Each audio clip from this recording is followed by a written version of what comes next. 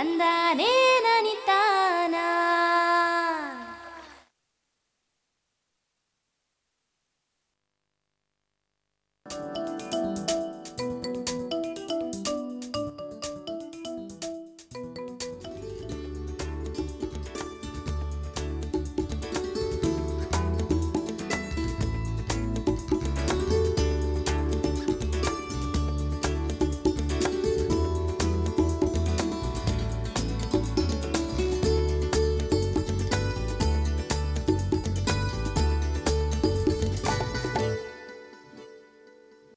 ನಮಸ್ಕಾರ ರೈತ ಬಾಂಧವರೇ. ಕೃಷಿ ದರ್ಶನದ ಕೃಷಿ ವಾರ್ತೆಗೆ ತಮಗೆಲ್ಲರಿಗೂ ಹಾರ್ದಿಕ ಸ್ವಾಗತ.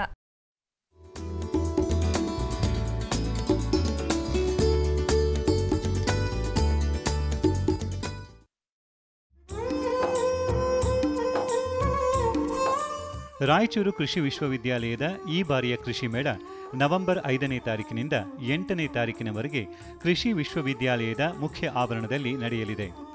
ಆಹಾರ ಮತ್ತು ಪೋಷಕಾಂಶಗಳ ಭದ್ರತೆಯಲ್ಲಿ ದ್ವಿದಳ ಧಾನ್ಯಗಳು ಎಂಬ ಶೀರ್ಷಿಕೆಯಡಿ ನಾಲ್ಕು ದಿನಗಳ ಕಾಲ ನಡೆಯಲಿರುವ ಈ ಮೇಳದಲ್ಲಿ ದ್ವಿದಳ ಧಾನ್ಯಗಳ ಉತ್ಪಾದಕತೆ ತಾಂತ್ರಿಕತೆಗಳು, ಕೊಯ್ಲೋತ್ತರ ತಂತ್ರಜ್ಞಾನ, ಮೌಲ್ಯವರ್ಧನೆ ಮತ್ತು ಮಾರುಕಟ್ಟೆ ಅವಕಾಶಗಳ ಬಗ್ಗೆ ಹೆಚ್ಚು ಒತ್ತು ನೀಡಿರುವುದಲ್ಲದೆ ಸಮಗ್ರ ಕೃಷಿ, ಸಾವಯವ ಕೃಷಿ, ಯಂತ್ರೋಪಕರಣಗಳ ಪ್ರಾತ್ಯಕ್ಷಿಕೆ, ಫಲಪುಷ್ಪ ಪ್ರದರ್ಶನ, ಜಾನುವಾರುಗಳ ಪ್ರದರ್ಶನ, ಮತ್ಸ್ಯಮೇಳ ಕೃಷಿ ಪರಿಕರಗಳ ವಸ್ತು ಪ್ರದರ್ಶನ ಅಲ್ಲದೆ ನೈಜ ಬೆಳೆಗಳ ಪ್ರಾತ್ಯಕ್ಷಿಕೆಗಳನ್ನು ಸಹ ಆಯೋಜಿಸಲಾಗಿದೆ. ರೈತ ಬಾಂಧವರು ಈ ಮೇಳದಲ್ಲಿ ಭಾಗವಹಿಸಿ ಹೆಚ್ಚಿನ ಮಾಹಿತಿಯನ್ನು ಪಡೆದುಕೊಳ್ಳಬಹುದು.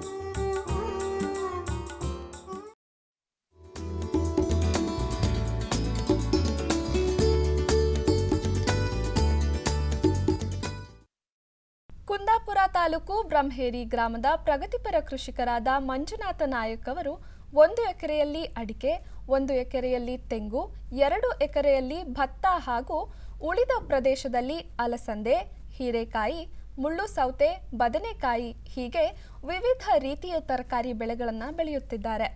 ತರಕಾರಿ ಬೆಳೆಗಳಿಗೆ ಏರುಮಡಿ ನಿರ್ಮಿಸಿಕೊಂಡು ಪ್ಲಾಸ್ಟಿಕ್ ಹೊದಿಕೆ ಅಳವಡಿಸಿಕೊಂಡಿದ್ದಾರೆ. ಪ್ಲಾಸ್ಟಿಕ್ ಹೊದಿಕೆ ಬಳಕೆ, ತರಕಾರಿ ಬೆಳೆಗಳಿಗೆ ಹೆಚ್ಚು ಪರಿಣಾಮಕಾರಿ ಎನ್ನುವ ಮಂಜುನಾಥ ನಾಯಕ್ ಅವರು ಮಿಶ್ರ ಬೆಳೆಗಳನ್ನು ಬೆಳೆದುಕೊಳ್ಳುವುದು ರೈತರಿಗೆ ಹೆಚ್ಚು ಲಾಭಕರ ಎನ್ನುತ್ತಾರೆ. ಈ ಮಲ್ಚಿಂಗ್ ಸೀಟು ಈ ಬೆಳೆ ಹಾಕಿ ಮಾಡೋದಿದ್ರ ಇದರಿಂದ ರೈತರಿಗೆ ಒಂದು ಒಳ್ಳೆಯದಾದ ಲಾಭದಾಯಕ ಪದ್ಧತಿಯನ್ನು ಹೇಳುವುದು ನನ್ನ ಅನಿಸಿಕೆ. ಯಾಕಂದರೆ ಇದರಲ್ಲಿ ಒಂದು ಸಲ ಕೆಲಸ ಮಾಡಿಬಿಟ್ರೆ ಆ ನಂತರ ಮತ್ತೇನು ಅದರದ್ದು ಕೆಲಸಗಳು ಏನು ಇರುವುದಿಲ್ಲ.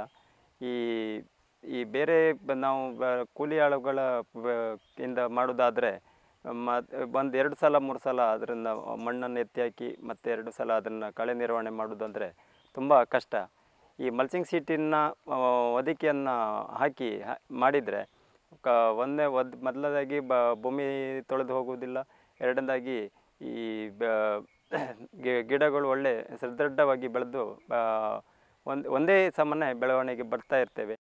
ಪ್ಲಾಸ್ಟಿಕ್ ಹೊದಿಕೆಯನ್ನು ನಾವು ಅಲಸಂಡೆ, ಹೀರೆ, ಬೆಂಡೆ ಮತ್ತು ಮುಳ್ಸೌತೆ ಬದನೆ ಇತ್ಯಾದಿ ಬೆಳೆಗಳಿಗೆ ಕುಂಬಳ ಸೌತೆ ಎಲ್ಲ ಬೆಳೆಗಳಿಗೆ ನಾವು ಇವತ್ತಿನ ಪರಿಸ್ಥಿತಿಗೆ ಹೋಲಿಸಿಕೆ ಆಗಿದ್ರೆ ಎಲ್ಲದನ್ನೂ ಮಲ್ಚಿಂಗಲ್ಲೇ ಈ ತರಕಾರಿ ಬೆಳೆಗಳನ್ನು ಎಲ್ಲ ಬೆಳೆಗಳನ್ನು ಮಲ್ಚಿಂಗ್ ಸೀಟಲ್ಲೇ ಬೆಳೆಸ್ತಾ ಇದ್ದೇವೆ.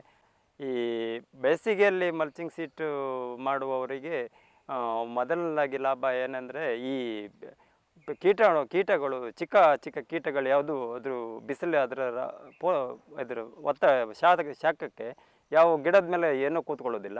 ಒಂದು, ಅದೊಂದು ತುಂಬ ಅದು ಎಲ್ಲದಕ್ಕಿಂತ ಜಾಸ್ತಿ ಲಾಭ ಅಂದರೆ ನಂಗೆ ಅದ್- ಅದನ್ನೇ ಅಂತ ಕಾಣುತ್ತೆ.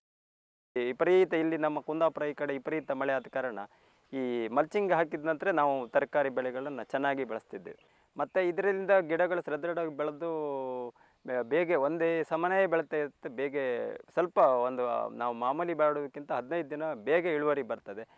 ನಮ್ಮ ಇಳುವರಿ ಟೈಮಲ್ಲಿ ಹಂಗೆ ಒಂದು, ಎಲ್ಲ ಗಿಡದಲ್ಲಿ ಒಂದೇ ಸಮಾನ ಇಳು, ಇಳುವರಿ ಬರ್ತದೆ. ಈ ನಾವು ಮಾಮೂಲಿ ಮಾಡುವಾಗ ಹತ್ತು ಸಾವಿರ ಲಾಭ ತಗೊಂಡ್ರೆ ಇವಾಗ ಇಪ್ಪತ್ತು ಸಾವಿರ ತನಕ ನಾವು ಲಾ, ಈ ಮಲ್ಚಿಂಗ್ ಹಾಕಿ ಲಾಭ ಪಡಿತಿದ್ದೇವೆ.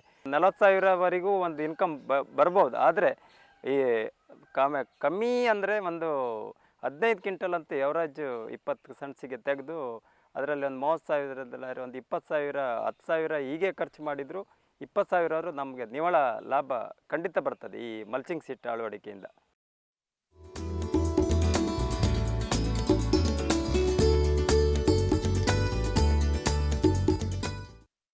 ಹತ್ತಿ ಬೆಳೆಯಲ್ಲಿ ಎಲೆ ಕೆಂಪಾಗುವಿಕೆಯನ್ನ ತಡೆಗಟ್ಟಲು ಪ್ರತಿ ಲೀಟರ್ ನೀರಿಗೆ ಹತ್ತು ಗ್ರಾಂ ಮೆಗ್ನೀಷಿಯಂ ಸಲ್ಫೇಟ್ ಅನ್ನು ಹತ್ತೊಂಬತ್ತು ಹತ್ತೊಂಬತ್ತು ಹತ್ತೊಂಬತ್ತು ಸಂಯುಕ್ತ ಗೊಬ್ಬರದ ಜೊತೆಗೆ ಮಿಶ್ರಣ ಮಾಡಿ ಹದಿನೈದರಿಂದ ಇಪ್ಪತ್ತು ದಿವಸಗಳ ಅಂತರದಲ್ಲಿ ಮೂರು ಸಲ ಸಿಂಪರಣೆ ಮಾಡಿ. ಎರಡು ಸಾವಿರದ ಹದಿನಾರು, ಹದಿನೇಳನೇ ಸಾಲಿಗೆ ಕೇಂದ್ರ ಸರ್ಕಾರ ಮುಂಗಾರಿನ ವಿವಿಧ ಬೆಳೆಗಳಿಗೆ ಪ್ರಕಟಿಸಿರುವ ಬೆಂಬಲ ಬೆಲೆಗಳು ಹೀಗಿವೆ. ಈ ಬೆಲೆಗಳು ಪ್ರತಿ ಕ್ವಿಂಟಾಲ್ಗೆ ಭತ್ತ ಸಾಮಾನ್ಯ ಒಂದು ಸಾವಿರದ ನಾನ್ನೂರ ಎಪ್ಪತ್ತು ರೂಪಾಯಿ, ಗ್ರೇಡ್ ಎ ಒಂದು ಸಾವಿರದ ಐನೂರ ಹತ್ತು ರೂಪಾಯಿ, ಜೋಳ ಹೈಬ್ರಿಡ್ ಸಾವಿರದ ಆರುನೂರ ಇಪ್ಪತ್ತೈದು ರೂಪಾಯಿ ಮಾಲ್ದಂಡಿ ಒಂದು ಸಾವಿರದ ಆರುನೂರ ಐವತ್ತು ರೂಪಾಯಿ, ಸಜ್ಜೆ ಒಂದು ಸಾವಿರದ ಮುನ್ನೂರ ಮೂವತ್ತು ರೂಪಾಯಿ, ಮುಸುಕಿನ ಜೋಳ ಒಂದು ಸಾವಿರದ ಮುನ್ನೂರ ಅರವತ್ತೈದು ರೂಪಾಯಿ, ರಾಗಿ ಒಂದು ಸಾವಿರದ ಏಳ್ನೂರ ಇಪ್ಪತ್ತೈದು ರೂಪಾಯಿ, ತೊಗರಿ ಐದು ಸಾವಿರದ ಐವತ್ತು ರೂಪಾಯಿ, ಹೆಸರುಕಾಳು ಐದು ಸಾವಿರದ ಇನ್ನೂರ ಇಪ್ಪತ್ತೈದು ರೂಪಾಯಿ, ಉದ್ದು ಐದು ಸಾವಿರ ರೂಪಾಯಿ ಸಿಪ್ಪೆ ಸಹಿತ ಶೇಂಗಾ ನಾಲ್ಕು ಸಾವಿರದ ಇನ್ನೂರ ಇಪ್ಪತ್ತು ರೂಪಾಯಿ ಸೋಯಾಬೀನ್ ಎರಡು ಸಾವಿರದ ಏಳ್ನೂರ ಎಪ್ಪತ್ತೈದು ರೂಪಾಯಿ, ಸೂರ್ಯಕಾಂತಿ ಬೀಜ ಮೂರು ಸಾವಿರದ ಒಂಬೈನೂರ ಐವತ್ತು ರೂಪಾಯಿ, ಹುಚ್ಚೆಳ್ಳು ಮೂರು ಸಾವಿರದ ಎಂಟುನೂರ ಇಪ್ಪತ್ತೈದು ರೂಪಾಯಿ, ಎಳ್ಳು ಐದು ಸಾವಿರ ರೂಪಾಯಿ, ಹತ್ತಿ ಮಧ್ಯಮ ಎಳೆ ಮೂರು ಸಾವಿರದ ಎಂಟುನೂರ ಅರವತ್ತು ರೂಪಾಯಿ, ಹತ್ತಿ ಉದ್ದವಾದ ಎಳೆ ನಾಲ್ಕು ಸಾವಿರದ ಒಂದು ನೂರ ಅರವತ್ತು ರೂಪಾಯಿ. ರೈತ ಬಾಂಧವರೇ, ಪ್ರತಿದಿನ ಸೋಮವಾರದಿಂದ ಶುಕ್ರವಾರದವರೆಗೆ ಸಂಜೆ ಐದು ಗಂಟೆ ಮೂವತ್ತು ನಿಮಿಷಕ್ಕೆ ಕೃಷಿ ವಾರ್ತೆ.